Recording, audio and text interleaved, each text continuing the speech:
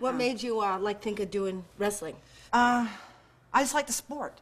I dream of being the champion and being the best of what I can do. And uh, actually, if it come to really down to it, if you just put a moose in front of me, I know I could tear its head off. you know? Really? Yeah, I really do think so. Wow.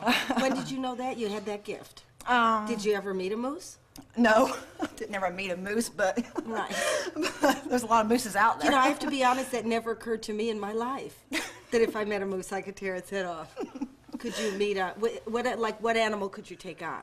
I've taken uh, boars down before. You know, like a hog. You know, go hog hunting. I take a boar down, just take a slap them down when they're still kicking. I've done that many times.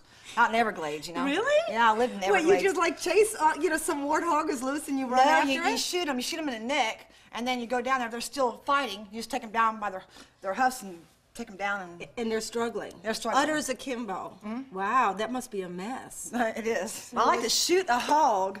Pow! Run over there, take his hooves and take him down. Take that and sit on until he dies and beat him. Pow, pow, pow, and just bust them all up. Yeah. That's what I like to do do. you ever say I'm sorry afterwards? And, No, no, I take and hang him and, you know, put him in hot water and take his hairs off and clean him, open him up, clean him up. And... Eat them? No, I don't eat meat, but uh, but uh, my friends do. But I live in the Everglades You for like just three open years. the guy up, you know, and then maybe use him as a hat. hey, you know, once you've opened him, you got to do something, or a pair of shoes. If you open the hog and you're not eating him, what do you open him up for? Decoration? No, but I use the head for decoration. But when I'm serving the, the meal, the head's right there in the middle of the table. Are your friends surprised when they come for dinner and there's a hog head in the middle of the table? yes. Well, yes. Because you're serving vegetarian food. There's risotto, risotto. I'm a vegetarian. You know, some soya beans, soya beans, some, you know, pulp. And Beans and rice. hog's head. It's a twist. I like wrestling hogs. Okay. Now, you've come out of the closet now. It's okay. No, honestly, and I'm sure the hogs somewhere appreciate that they're working with a pro. I'm sure they are. And um, can I just ask, the hands? Yes. Were you born with hands like this? Oh, yeah.